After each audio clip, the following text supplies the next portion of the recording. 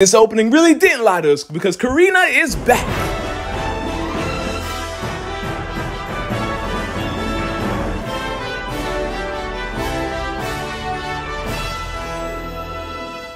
How many days do we have to wait on this review, old man? Please, please, I can explain. I can explain.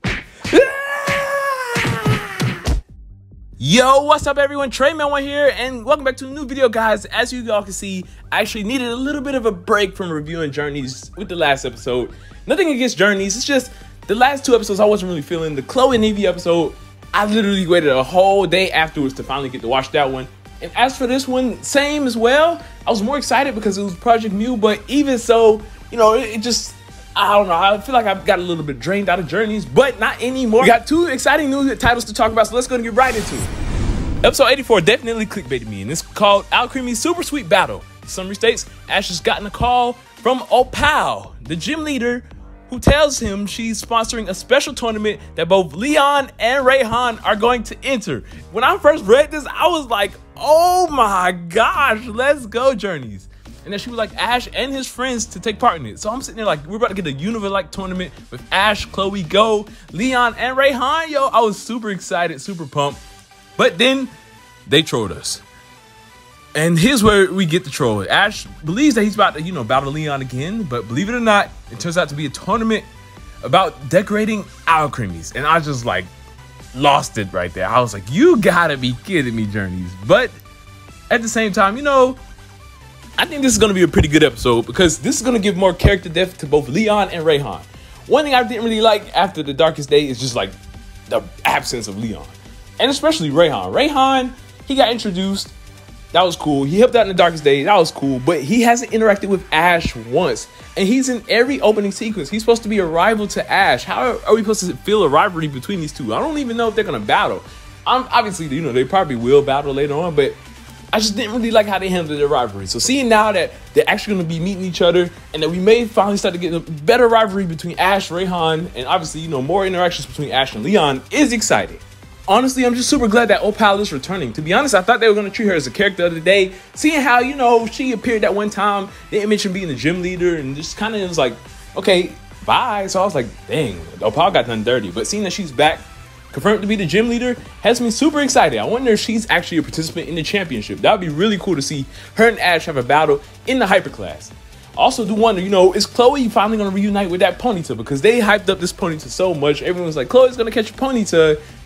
And then, you know, they dropped the ball on us. She didn't catch it. So, seeing that we are coming back here, it is possible that she could possibly reunite with that Ponyta.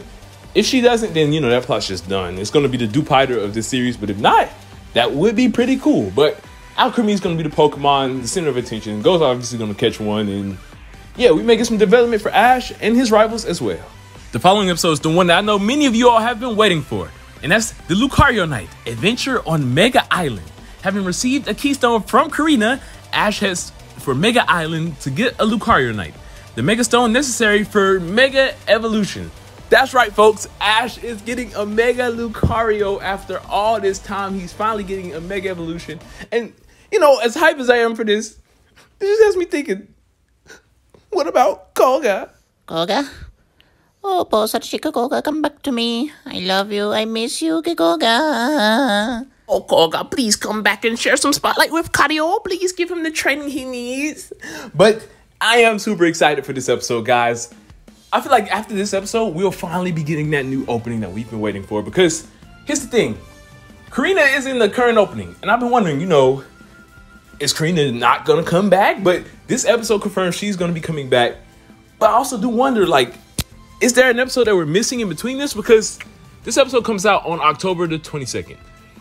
October the 8th is when the Raihan and Leon episode happens. So either they're going to have a couple week breaks or Ash and Korrina may be having a rematch in the Pokemon World Championship, the episode right before this, because it seems like this episode is a continuation. It's, they're saying, you know, Ash has already received the Keystone. My theory is that Ash and Korrina are going to have a rematch in the Hyper Class. Ash is going to be victorious, Lucario versus Lucario, and then that's when he gets a Keystone to head to Mega Island and everything like that. So this is going to be a pretty interesting episode. Once we get more titles and summaries about, you know, if Ash is going to be fighting Korrina again or not, I will let you all know. But Get hype, everyone. This is the hype time, and I am really excited. If y'all didn't see my community post, my overall rating for Journeys episode 80 was a solid 7 out of 10. It was a really enjoyable episode, great episode for Gold. You know, I really did love everything that they did with, you know, the hunter and the stakes were really high in this episode. It was really nice. I, I don't know, it just it was a it wasn't as good as the first Project Mew episodes, which is understandable because you know they had to set the tone with that one. So hopefully, you know, more Project Mew missions will be great like these. But yeah, thank you all for watching. I hope y'all enjoyed please in the comment section down below, let me know what y'all thought of and what are you most excited for.